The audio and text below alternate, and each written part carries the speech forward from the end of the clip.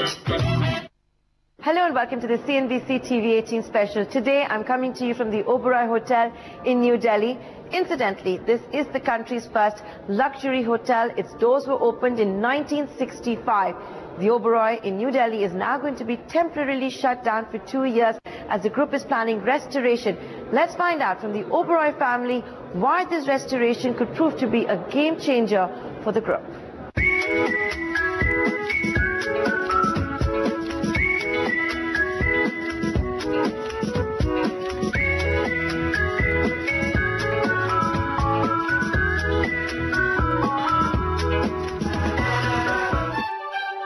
The capital city's iconic hotel, the Oberoi New Delhi, was built by the Hospitality Group's founder, Rai Bahadur M.S. Oberoi, more than half a century ago.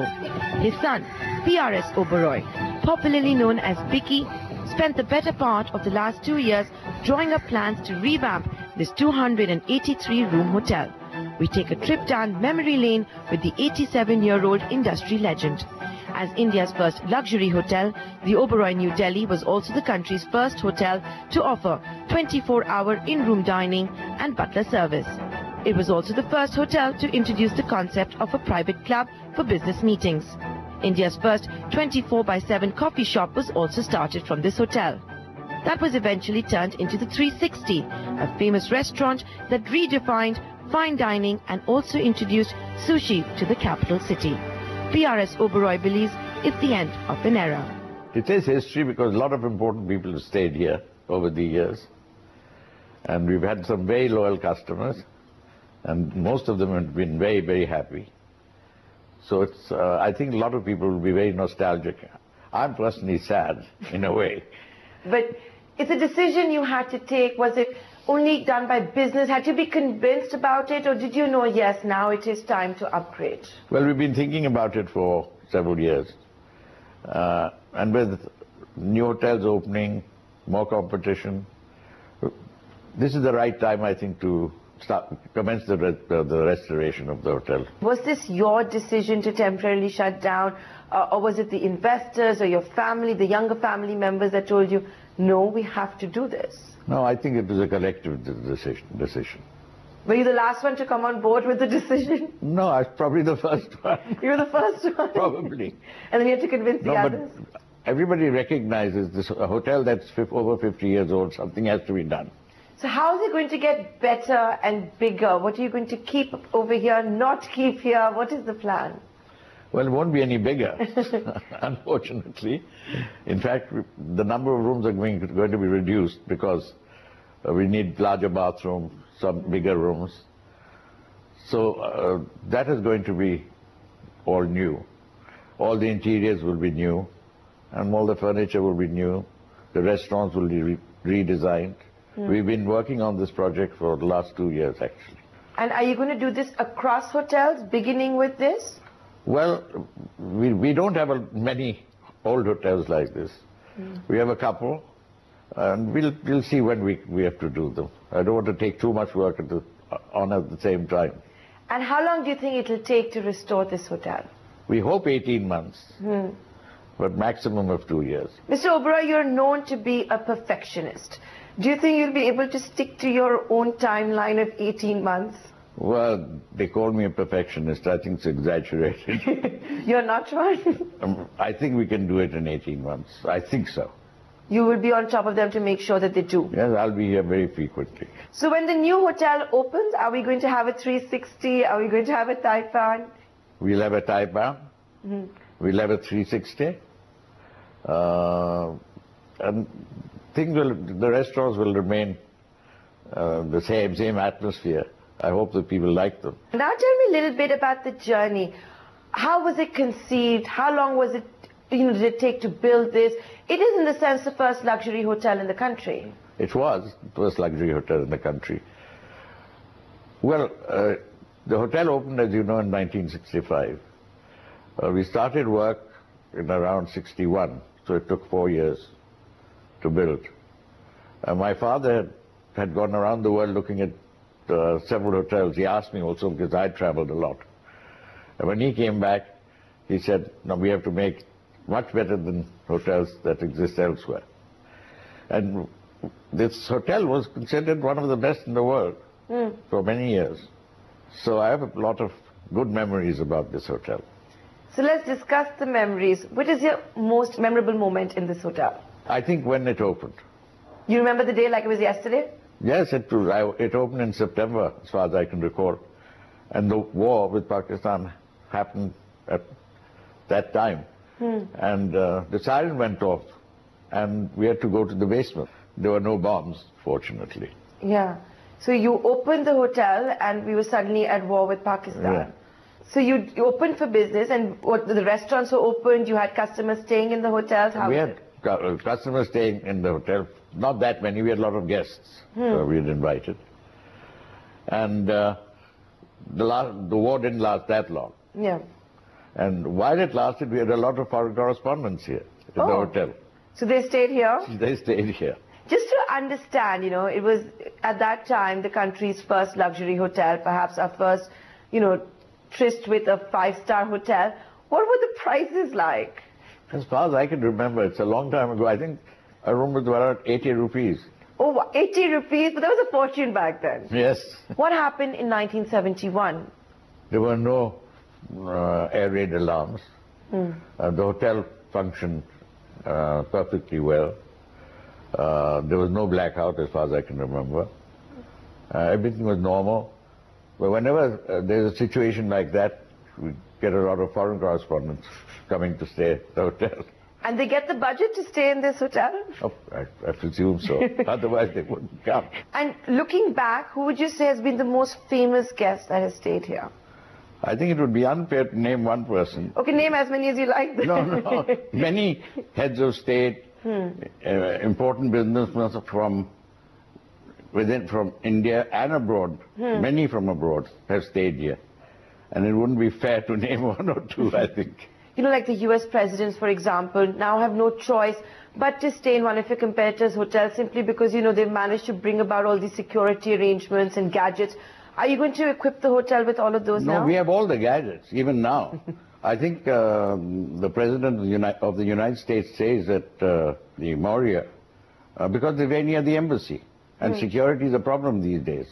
Okay, so it's not because the way it's always As made far out as I know, that is the reason. Okay, because I've interviewed ITC in the past when, you know, Mr. Obama was going to stay there, and that's what they said. We have the state-of-the-art technology. It's the most secure hotel in the city, but Oh. you don't think that's the case? Well, I don't know about their security. I don't want to say yes, good or bad, because I Yeah. don't know.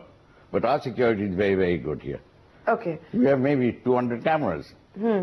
You know, and our security staff are very uh, active, and uh, we take all the precautions. Some of our guests don't like all the security measures we've taken. But you, I guess life also changed after 2611 for hotels, and they had to, uh, you know, keep up, if I may say so, with the times and anticipate all the bad things. Yes. That must have been tough. Well, we're very uh, conscious about security. And uh, we have a person who goes and checks our hotels for security, the chief security officer of the company. Because times are bad, and we have to be very, very careful. Yeah. You know, you have staff here for so many years. What's going to happen to them? Are you absorbing them in other hotels? Yes, we are sending some abroad, some to other hotels. Uh, some older people have uh, asked to be retired. So everybody's being taken care of. Mr. Oberoi, when you go to one of your hotels, what do you do to make sure everything is in place? Like, do you go for a tour? Where does it all start from? I don't go on a tour of the hotel. No? No. Uh, I, if I see anything wrong, I tell the, the general manager. Usually, I don't talk, give instructions to any other person other than the general manager. So if I see something wrong, I tell him that this, this is not right, and they put it right. And our, our people are very good. They have good eye for detail. So, going forward, what can we expect in the new Oberoi? You told me that you're going to have better technology, smaller rooms, the bathrooms are going to be better. When we come back 18 months later, what can we expect? Wow. wow. yes. Thank you, Mr. Oberoi, for joining Thank us here on much. CNBC TV 18. Thank you. With that, time for a short commercial break. You're watching a CNBC TV 18 special where we're in conversation with the media shy Oberoi family, finding out why they've decided to shut down temporarily the Oberoi Hotel in New Delhi. Stay tuned. Welcome back to the CNBC TV 18 special. Today I'm coming to you from the iconic Oberoi Hotel in New Delhi. It's going to be temporarily shut down for two years as the Oberoi family thinks this is the time for a restoration. Why is that the case? Well, I've been busy interviewing the media-shy Oberoi family. The bold decision to shut down the hotel for restoration was spearheaded by the 87-year-old industry legend PRS Oberoi himself. He soon won over his son Vikram Oberoi and nephew Arjun Oberoi. The two younger Oberois had initially wanted to renovate the hotel in bits and pieces. You know, from, from day one, he was actually very, very clear. And, and Mr. Oberoi comes with so much experience and so much wisdom. Uh, we, we uh, in comparison, uh, have a lot less experience. And so, you know, we said, does it really need to be closed down? Can we do it over a few years in, in, in stages? And what was very nice about Mr. Oberoi was he said, please go and look at it, evaluate it, and let me know. And so we, we, we met on two occasions, um, had two meetings where we spent quite a lot of time to see if that could be done. And just given the extensive work that needs to be done in the hotel, we then came to the conclusion that the only way was to, to close it so down. he already knew, but he had to wait for the kids to figure it out. He, he already knew, but he needed to wait for the kids to figure it out. And how long did it take you all to get on board? So actually it just took two meetings, but there were two meetings with all the project people, the design people, um, and there was always consensus on who was going to be the new designers, the new architects, etc. Uh, Mr. Oberoi and Arjun uh, were involved in, in, in that decision. Um, and I think at that stage it wasn't even, we hadn't selected the, the, the, the designers. Mr. Oberoi will, will have a better idea if we had selected the designers at that point. Because the decision to, to do this actually, or the thinking started well before today. Mm. Um, and you know it's been a it's been a, yeah. a, a long process and quite a lot of planning. I was asking your father this question that you know you're doing this at this hotel, which is pretty much the first luxury hotel in the country. Is this something you're going to do with your other hotels across the country? Well, Bangalore, you know, we we renovated Bangalore, um, mm. and Bangalore, just again, given the, the, way the hotel was was structured, we could do Bangalore over two years. Uh, in doing closing half the rooms down, renovating half the rooms, and then the, the second half. So I think it really depends from hotel to hotel. Uh, to close a hotel down is always a big decision, yeah. uh, and to close a large hotel down, uh, which is very important uh, in terms of profitability, is a, is, a, is a big decision. But you know, we're a company that never looks at tomorrow. We, we think long term. Uh, and I think thinking long term helps you take the right decisions. If you think very short term, you end up taking the wrong decisions. Um, uh, so we're fortunate in that we do think long term. But I think you, it's very hard to compare, um, uh, you know, two different. Each hotel has to be evaluated on whether it can be done while the hotel is operational. Uh, what is the extent of work that needs to be carried out? What is the disruption that will happen?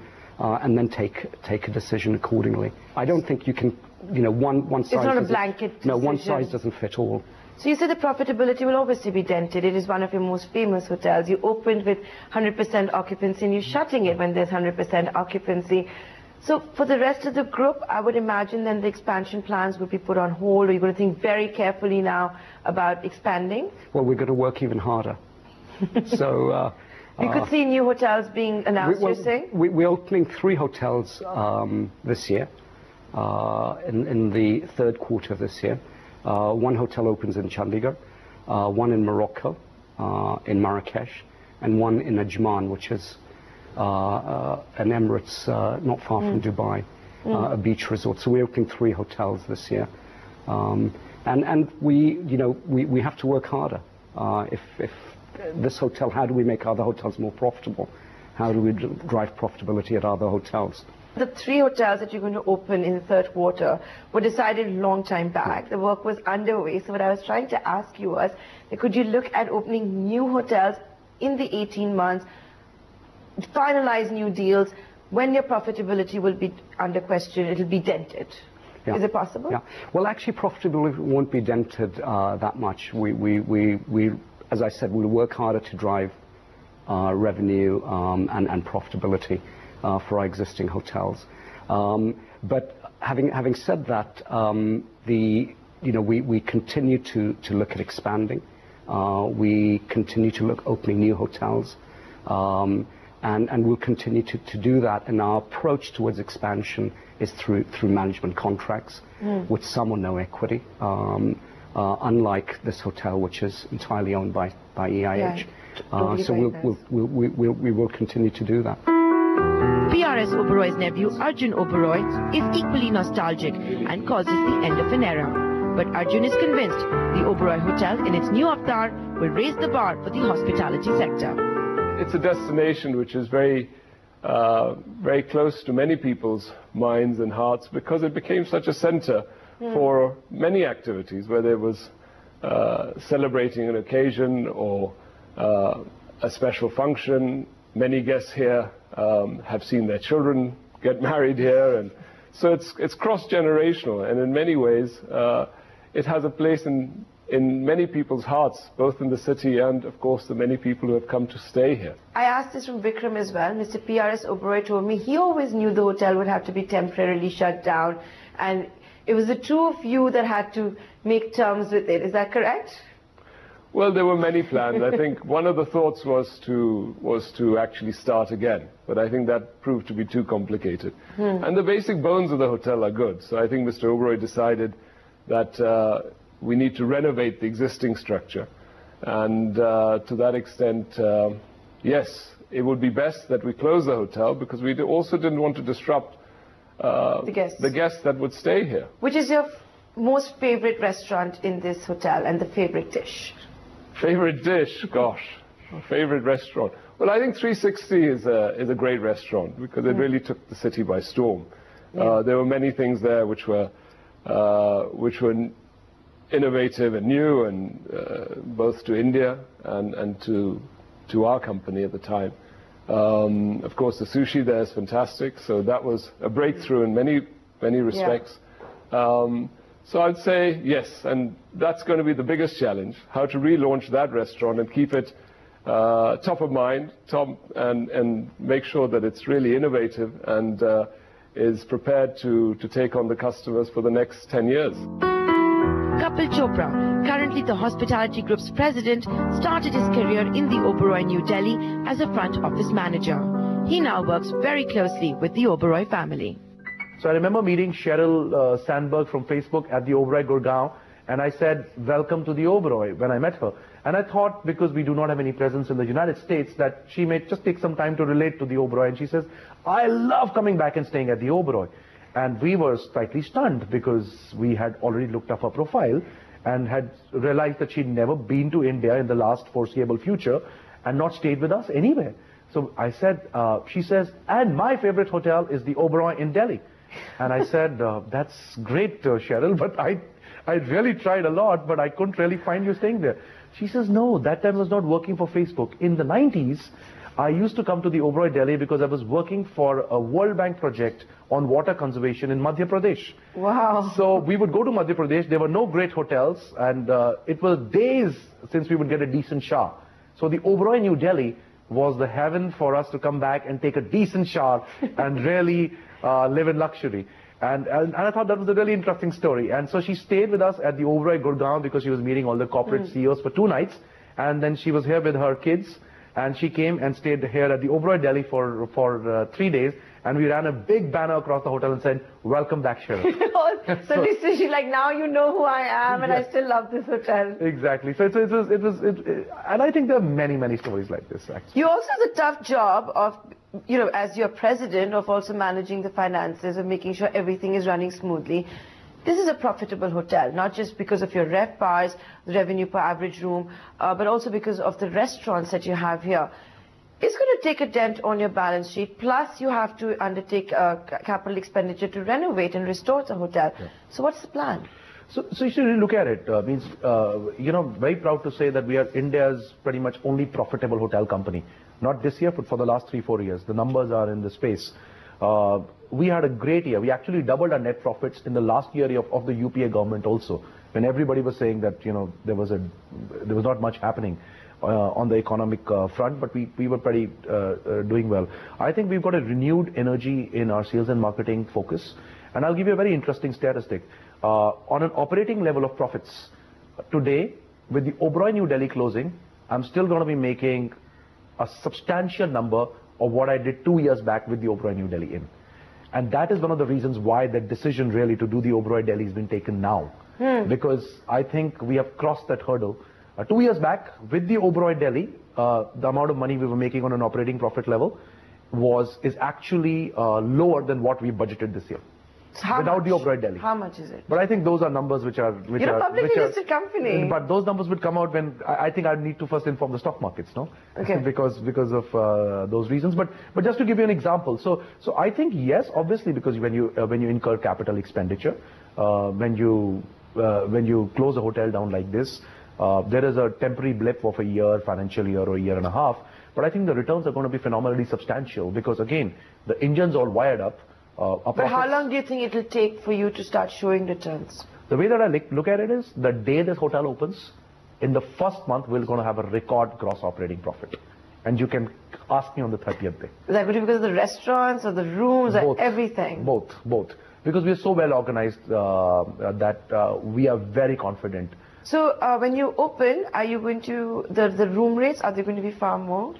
Uh, so the Oberoi New Delhi will have the highest average room rate for any city hotel in India when we open. And that is what I can promise you. I said the same to your channel for uh, four and a half years back at the opening of the Oberoi Gurgaon, and I kept that promise. And it's time now for us to check out of the Oberoi in New Delhi. Thanks for watching the CNBC TV 18 special.